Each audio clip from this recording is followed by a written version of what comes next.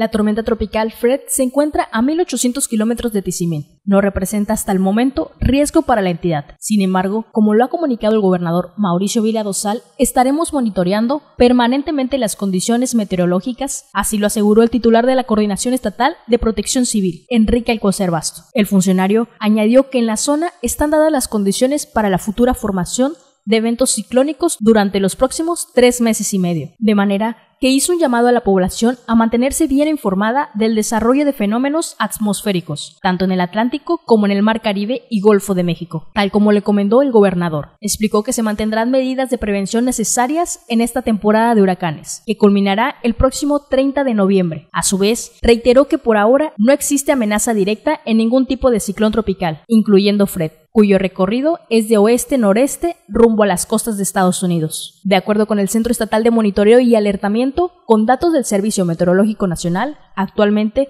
la tormenta se encuentra frente a la República Dominicana, con rumbo al norte de la isla de Cuba y posteriormente al territorio del país vecino del norte. Se mueve con una velocidad de 26 km por hora, con vientos de hasta 75 km por hora y rachas de 95 km por hora. De mantener estos patrones de desplazamiento y trayectoria, el jueves 12 de agosto estaría por Cuba y el 14 de este mes llegaría a Florida. Para Notivisión, Abigail Rangel.